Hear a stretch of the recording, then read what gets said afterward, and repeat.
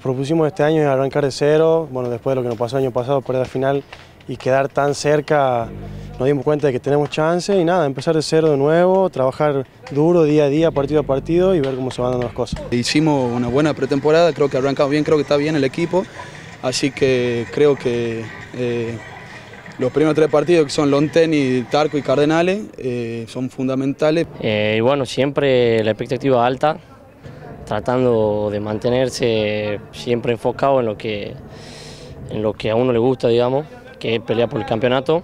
Si tenés que elegir un partido, ¿cuál te gustaría ganar? Eh, contra Tarco. Contra Tarco. ¿Por qué, Che? Porque el entrenador de nosotros es Tarco. Siempre empezar ganando en un club y siempre empezar en casa en un, en un club porque ya te sentís más respaldado, es distinto.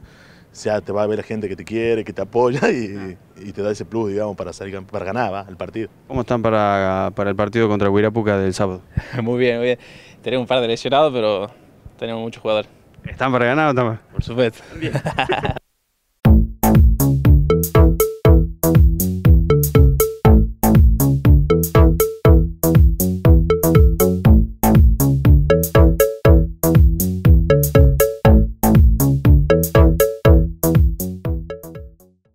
muchas pautas digamos, en el club y una de las más digamos, importantes de tratar de ser más humilde en cuanto a, bueno, este, como vos decís, eh, ante los equipos grandes sacamos entre una bandera bueno, del scrum, del tackle, vamos, eh, sacamos esa máquina que tenemos adentro y de nada, bueno, ser más humilde también de que no tan solo con un equipo grande, sino que también contra, no desmerecer a los otros equipos y, y ser igual ante todos.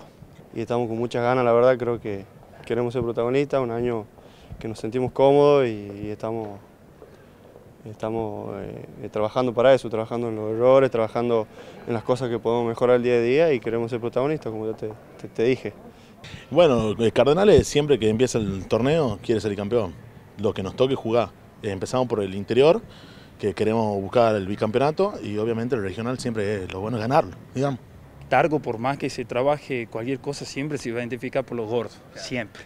Entonces, más allá de que podamos entrenar cualquier cosa, el corazón está en el pack de FOB. Somos los gordos. El objetivo es ser campeón y, y para eso nos preparamos y tratamos de cada entrenamiento mejorar cada cosa y tratar de plasmarlo en la cancha.